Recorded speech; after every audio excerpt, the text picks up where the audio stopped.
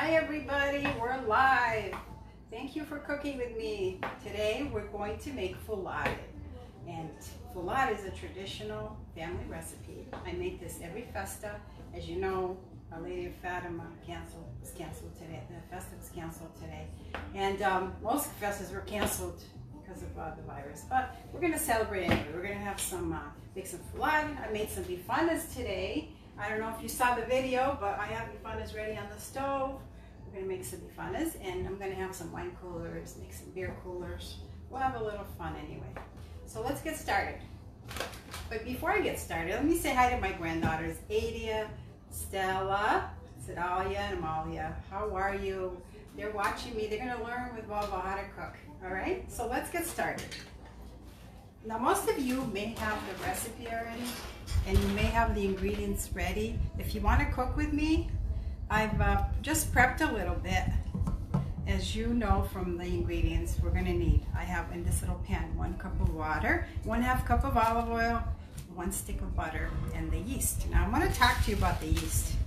The yeast is very important. Okay, you need uh, really good yeast. What I did is I picked up some fresh yeast at my bakery this morning so they gave me this little piece. It's probably like, uh, I'd say 1.2, 1.5 ounces of yeast. This is fresh yeast. Or you can use three packets of yeast, okay? So go to your local bakery and you can ask them if they're willing to give you some fresh yeast. This, this has excellent results when you bake. So I'm gonna warm this up. What I'm gonna do though, I'm not adding the yeast yet. I'm gonna warm this up the water and the olive oil and butter first. It's gonna melt you don't want this hot. So before you add your yeast, you're gonna do the finger test. You're gonna put your finger in there. It should be warm, not hot. Because once you warm up the yeast too much, you're gonna kill the yeast. So let's go, let's uh, get ready. I'm gonna put this warming up a little bit.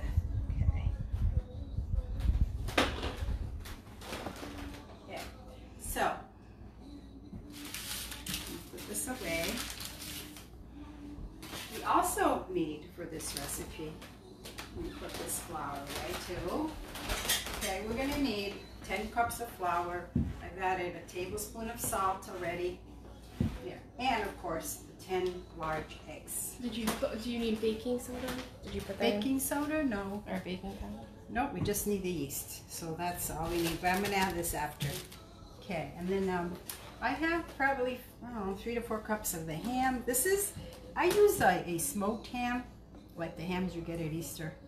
And I have uh, chorizo. I have some bacon. Normally I don't put bacon because I'm not a fan, but this time I'm gonna put some bacon in it. It's just for variety. So as you see, this is a lot of meat here. I probably won't use all this meat, but I'll just save some. And I'll, you know what, this is great for to make some uh, eggs, like an omelet. So you're never gonna waste that. Okay, so, so again, this ham, it's a perfect East, uh, way to use up your Easter ham. I, of course, I didn't have any Easter ham today, but I, you know, I went to get some, and uh, I saved the rest of the ham to bake ham with it. All right, so this is your 10 eggs. What we're gonna do first is we're gonna beat these eggs until foamy. So let's take this over to the mixer. Now this is a six quart KitchenAid. It's really a good size, so it's gonna uh, have room for all the dough. If you don't have a six quart, you're just probably gonna have to go and just divide up the batter, you know, and do it do it twice. Or you can do this by hand in a nice big bowl, that works too. Okay, so I'm gonna put it mixing on low. The other way. oh, sorry about that. Is it plugged in? Yeah. Okay, don't mind the noise. It's a little bit noisy. It's live cooking. There's nothing we can do about that. So let this heat a little bit. Okay, I'm going to come over to my stove. I want to be sure this is warming up but not too hot.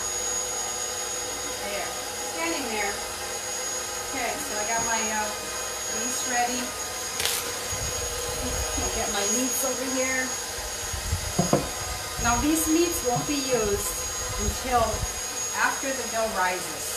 This dough is going to probably take maybe 10 to 15 minutes to mix up. And then what we're going to do, we're going to put it in this nice bowl. This is a, a bowl of Portuguese bowl, by the way. I Yeah. really love it. It's great. It's from Home It's from Home Goods, yeah. So what, what I'm gonna do is I'm gonna grease it a little bit. And I'm gonna put my dough in here, cover it. It's gonna rise probably an hour and a half. It could be less, I mean, it could be more, or it could be less. You- As you know, every, every dough rises at different times. But normally it takes me one to one and a half hours for this dough to rise, okay? So meanwhile, if anybody has any questions or anybody has any suggestions, comments, we'll just go ahead. Yeah. Okay? So when this is over, it will be posted to your Facebook page, Yeah, so people can go back. Yeah, you don't, And don't watch be it. afraid if you don't watch this whole video. You can come back Yeah. anytime during the day and watch the video, watch the whole thing. And we'll post it to YouTube.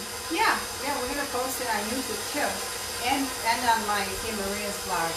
So feel free to go to the blog, uh, the YouTube channel, and you can find mo- most of my videos on there. Okay. So as you see, the eggs are beating. Put it a little bit higher. They have to get really foamy. The foamier the better.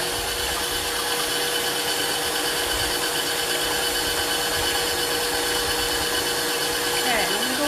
to that yeast. Okay, that's about right. It's gonna take another few seconds. Yeah, so, So this would have been the second day of the festa. yeah. Today. So Festa, technically, the first day was yesterday. It's a four-day Festa in Muslim. And today's the second day. So, Yeah. Yeah. So hopefully, you know, next year we'll go and we'll have a really big celebration. Okay, so let me see. It's getting really foamy. See? So if people don't have a mixer, what do you suggest? If you don't have a mixer, you know, just use your muscle. Like get in there and um, use your hand. Or, you know, some people have dough hooks on their KitchenAid. Or any, just that. Yeah, you can see how this warmed up a little too much. Yeah, see how it's steamy. smoky? It's too hot. So now I have to let it cool down a little bit. I know. So let's shut this off a little bit. All right. So those eggs, those eggs are good. So now I'm gonna transpose this to a different bowl.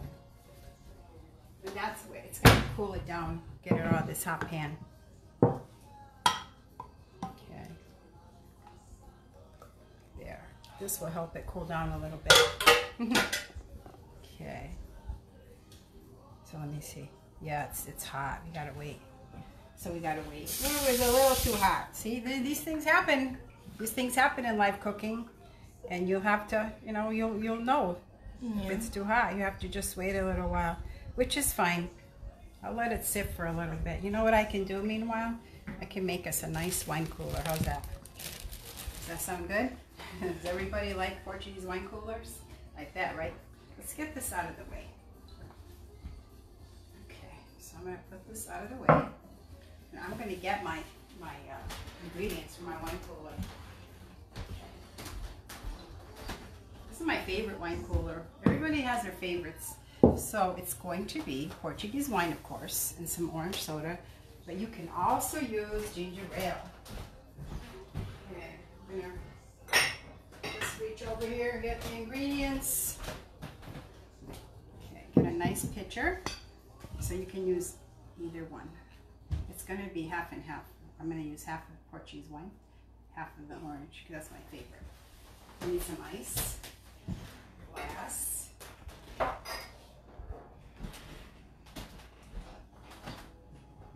There, that's my glass. So, what I'm gonna do, let me get that ice.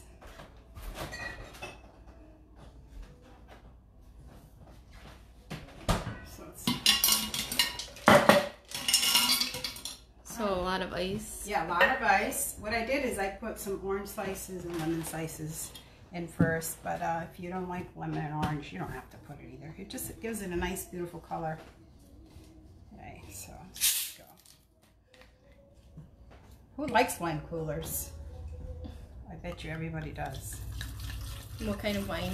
This is red wine, but you can use rosé too. That works. Okay. So I'd say that's about half.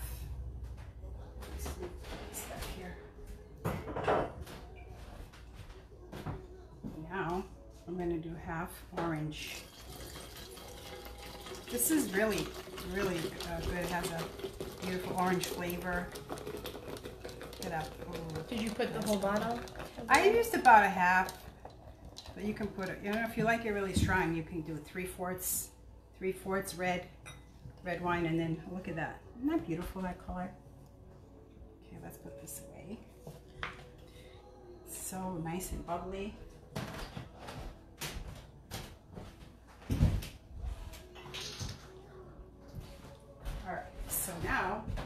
See how this is doing. Yeah, is that warm yet? It's getting there. I think it's just about ready, so I can add my yeast. But meanwhile, I'm gonna stir my wine cooler, and I'm gonna pour some. This is just a simple wine cooler. If I was going to make sangria, I would add more fruit, and I would add some brandy. What I do is I add 1920 brandy. By the way, you can find the recipe for the wine coolers, the sangria, the beer cooler I'm going to make. You can um, find the recipe on my blog as well.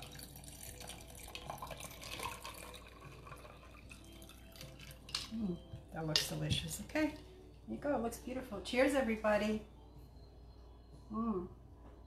That is really delicious. Okay, so I'm going to put it away. We're going to get going on the yeast. Okay, so this is good.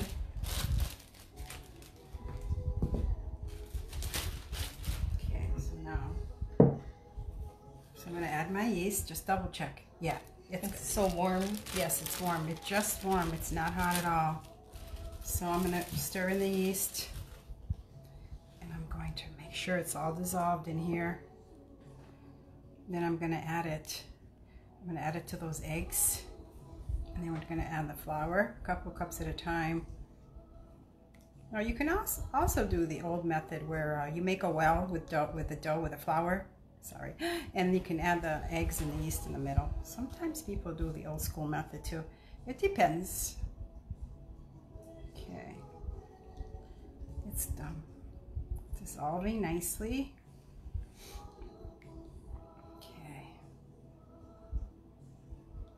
So what's everybody doing for this? Uh, memo- I'm sorry In the comments, it, it seems like everyone's having their own family Well, they festivals this weekend. That's nice. I, I really love tradition. You know, our family had the tradition every every festa. My mother would make folar. We'd have bifanas. We'd have roast uh, barbecue chickens, and uh, we'd go to the festa. So it was a big family celebration, and I think it's important to keep traditions um, in our Portuguese culture. It's very important. So make sure your your kids uh, follow these traditions of having certain foods. It brings back great memories.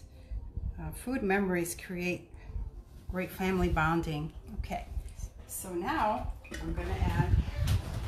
I'm going to add this to to the eggs. There. And just beat it a little bit. Okay, don't mind the noise. Very little noisy.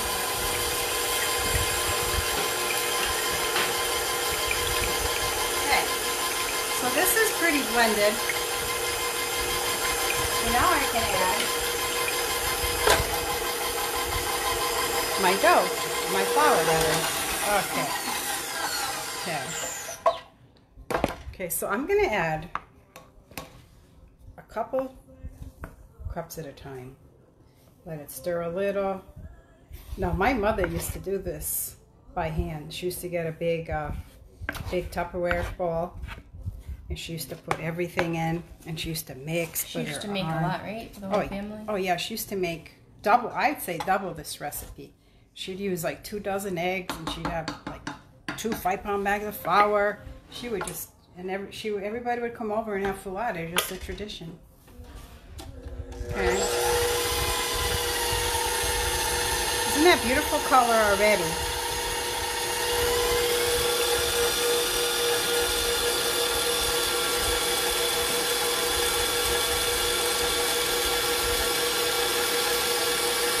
Okay. So I'm gonna add a little more. This takes time. Just have to be patient in baking, especially. Okay, a couple more, a couple more cups of flour. A lot of time. You know, my favorite music is Roberto Leal music. Mm-hmm. And, uh, I used to dance at the fest all the time to Roberto Leal. And he was there. Yeah. What was it? Four, four years ago. Yeah, he was. Yeah, we saw him live, and uh, great memories. And uh, you know, oh, may he rest in peace. Front we row. yeah, we were in the front row. It was good memories. And the ranchos too. Um, they used to have on Sundays. They have ranchos there, and uh, oh, I used to love and go watch the ranchos. The little kids would and the ranchos would dance. And my granddaughters would love to watch the dancers.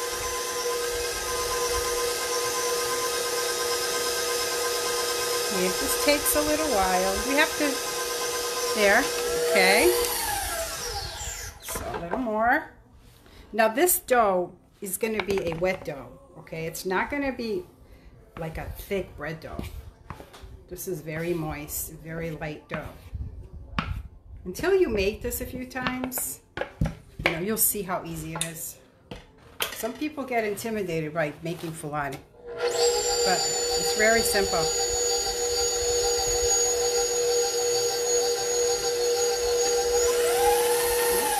You have to go slow. Whoa, Oh my god. You're putting it fast. okay, whoops. That's what happens I'm in live videos. I know, this is live, people. Oh well.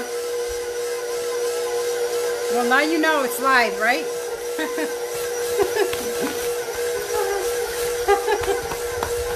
that was funny. Okay. Candy's asking, when is it ready? It's ready probably 3, 3.30. so everyone, Yeah. thanks to everyone from our family watching. Yeah, my whole Jessica, family. Candy, oh, Michelle, Oh, everybody's watching. Dan, and Chris. That's great. Thank you, everybody. Okay, still a little more. I got the rest of the dough to put in.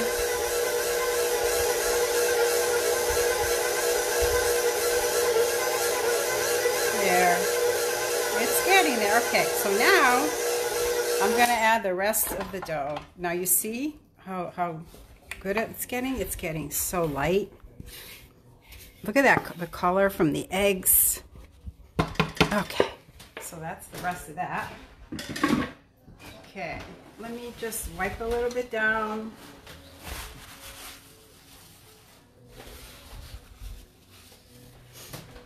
Okay, so now, this is the rest of the dough, of the flour. So now, we're gonna finish this. Now I have to go sew, so let's see.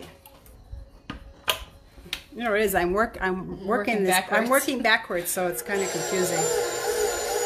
Okay.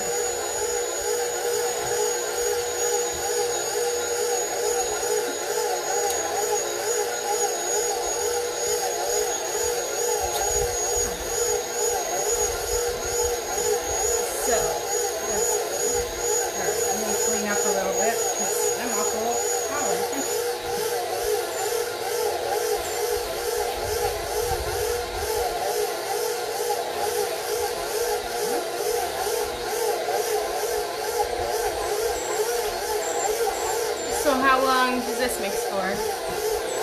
Oh, I'd say it's gotta go another at least five to eight minutes. It's gotta be really, really, let's see, it's gotta be really, really blended in.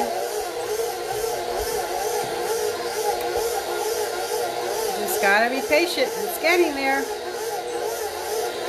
This is a really good mixer. It's super strong. I can't imagine my mother doing this by hand. Oh, God bless her. Yeah, I think someone commented, I think Lynn, that she still does it by hand. Oh, she does? Oh, good. Oh, that's amazing, Lynn. That's probably the best way to do it, you know. Because it's, uh, it just, you put a lot of love into that folar when you do it by hand. See, it's, see how it's incorporating nicely? And you can't rush it. It just gotta, it just gotta take time. There.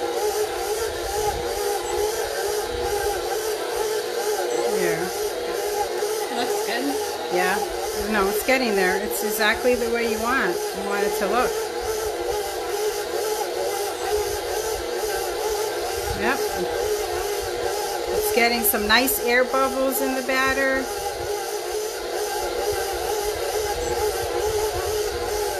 So maybe while this uh, finishes beating up. Okay, hold on. All right, hold a minute. It's almost getting there. You know what I'm going to do meanwhile? I'm going to put some olive oil. Grease our little here. So what I do, I put some olive oil inside. And then I'm going to rub it all around, grease it nicely. That's ready. Now my stove top is warm for making those ricotta's, so it's going to be a perfect place to put this rising.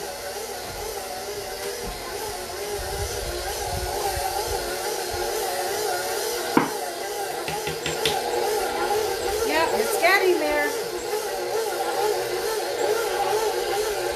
I know.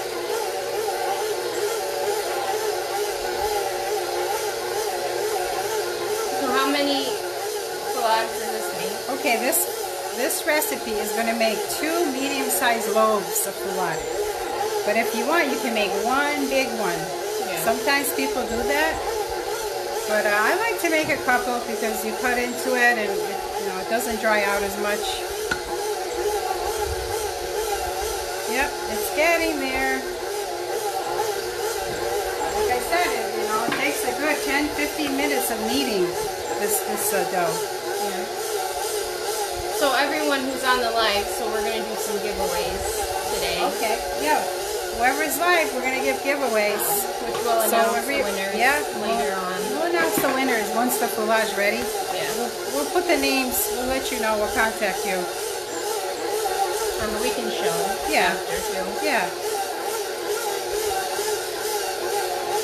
I'm gonna turn this off, and I'm gonna push the dough down a little bit. Okay, gonna go down. See how it's not a thick, thick dough like bread. Yeah, it's very moist, and you wait till you see it after, after it rises. It's gonna come out so light, light. Okay, so it's still, still needs a little more. Until you do this, you know yourself, you can watch it, but you have to know the consistency and know what it's supposed to feel like, look like, like anything, like any cooking. Okay, so push the dough down a little bit.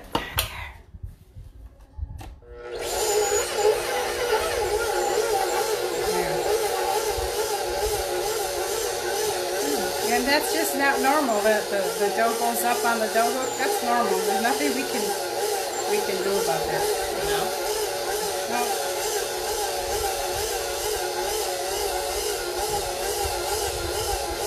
It rises for what, an hour and a half? Yeah, it'll rise for about an hour and a half. It could be an hour. It depends. Yeah, it so depends. when it doubles. Yeah. Yeah, when it doubles. You'll see it's gonna come out so beautiful. Okay, if you wanna go close up, Lisa, you can see, now can you see that the dough separates from each other and there's little bubbles forming? And you can see, there it goes, see? The dough separates and there's bubbles in the, in the batter. That tells me that it's almost ready. The dough's getting nice and light. So I'm going to do this another minute and we're going to be done.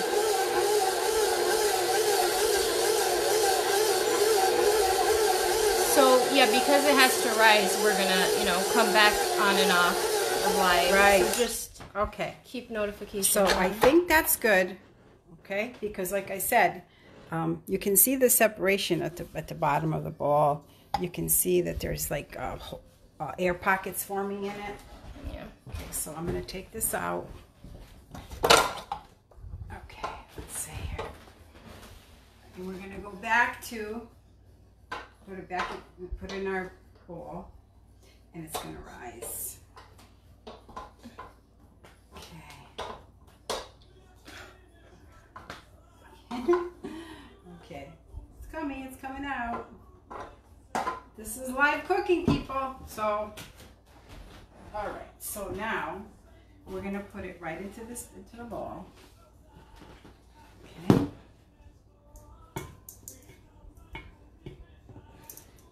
You need a lot of muscle to bake to bake up bread and dough like this. You know that, right? Okay, so I'm gonna I'm gonna grease my hands a little bit with some, this oil, and I'm gonna help it. So there you go. Watch. See? You're gonna get in there, and you're gonna get every little piece of dough. You don't want to waste anything. So for people who are just joining, um, they're asking what we're making. We're making folhado, which is a Portuguese meat bread. It's a classic from the north of Portugal. It's a classic, and I um, I mix my dough. It's a meat-filled bread with chorizo and ham.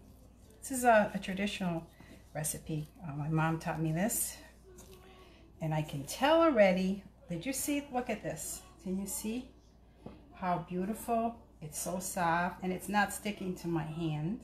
This is what you want to look for. You want to find it. The, you want the dough to be like this. It's um, it's a, a soft dough.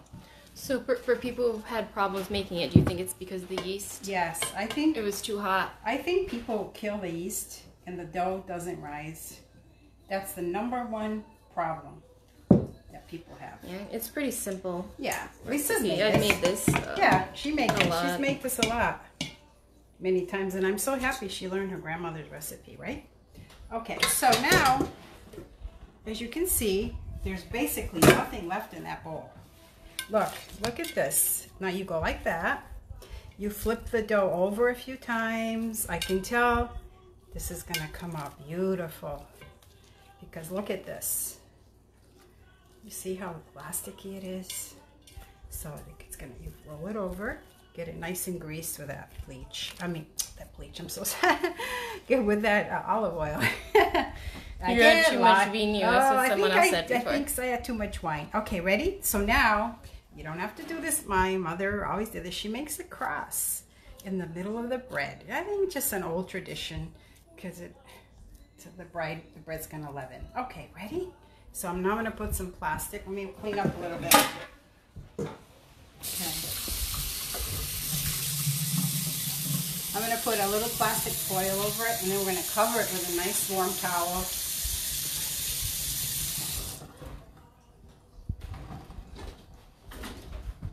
Okay, where's my plastic wrap? So I hope um, whoever is making this along with me is gonna send me some pictures. I love to see Yeah, pictures. whoever makes it, send us pictures. Send us pictures and we'll post them. it. Okay, so now I'm gonna cover it with a little. I'm gonna put a little bit of flour too, just so that it uh, doesn't stick to that wrap.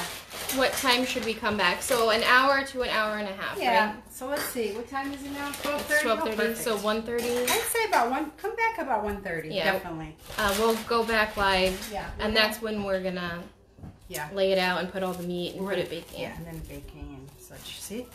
So it's gonna be beautiful. And then we're gonna cover it with a nice clean dishcloth. Okay. And like that. Now you don't wanna be touching it.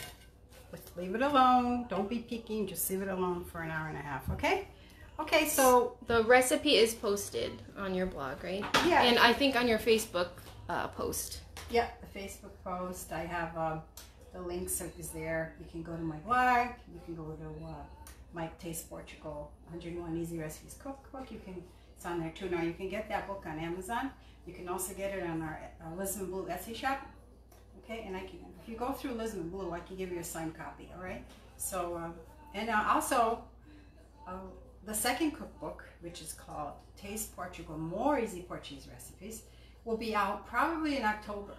So just in time for Christmas. And uh, we're going to be taking pre-orders on that cookbook too. So so get you know Yeah, put, just it a on, heads put it up. on your yeah heads up. So put that on your Christmas list. Yeah. All right. So uh, we'll be back. Thank Yep. you everybody. And um, so we're going to go have a some of that wine cooler. Yep. So, it'll be fun at Yeah. So around 1.30, come back and we'll yeah, finish. come back and join us. Okay. We'll be right. back soon. Hey everyone. I hope you all cooked along with me. Bye. See you soon.